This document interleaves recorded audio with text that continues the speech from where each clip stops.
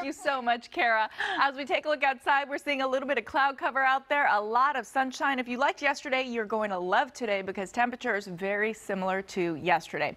If you are traveling, uh, maybe you are going to Portland, 76 degrees there. Reno coming in at 83, 91 in Bakersfield, 100 degrees in Vegas, down to the south of us in San Diego, 73 degrees. Closer to home right now, currently out the door in Van Nuys, 66 degrees, 71 degrees in Lancaster, 70 degrees in Palmdale, 67 Ontario, 68 degrees in Riverside, 80 degrees in Palm Springs. Trough of low pressure set up along the west coast, and that's bringing us mild conditions today, especially along the coast where those daytime highs will top out in the 70s for the most part. Interior sections a little bit warmer, but we're in the dog days of summer and temperatures not too terribly hot out there.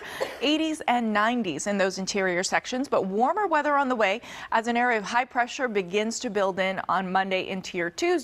For this afternoon, here's what you can expect. 92 degrees in Santa Clarita, 93 Newhall, 91 Van Nuys along the coast, 74 Santa Monica, 76 in Oxnard, 73 in Manhattan Beach, about uh, 85 in Santa Ana, 85 as well in Anaheim, 90 degrees in Chino, 91 in Corona, 94 degrees in San Bernardino, and 92 in Apple Valley. Orange County inland spots topping out at 84 degrees today, 85 is our average. So temperatures remaining right around the average today. A little bit of warming tomorrow as that high pressure begins to build in 87 tomorrow, 90s back in the forecast Tuesday into your Wednesday.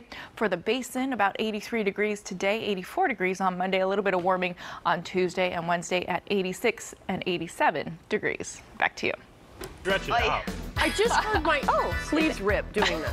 You did. I hope that's what that was. Uh, that, Oh, What that yeah. ripping was. if Liberte holds her nose, maybe. We're talking about females. No, if you go back to the newsroom, someone had their hand over their head. Over their head?